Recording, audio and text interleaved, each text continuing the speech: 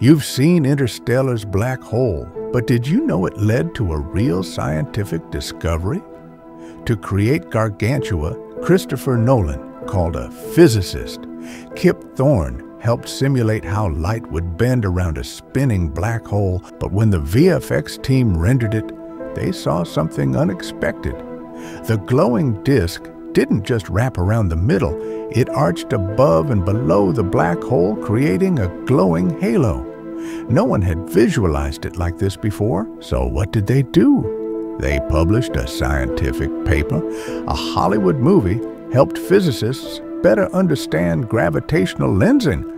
It's the first time a film's VFX team contributed to real astrophysics. And you thought it was just cool CGI? Interstellar is packed with mind-blowing science like this, so tap subscribe and don't miss what comes next.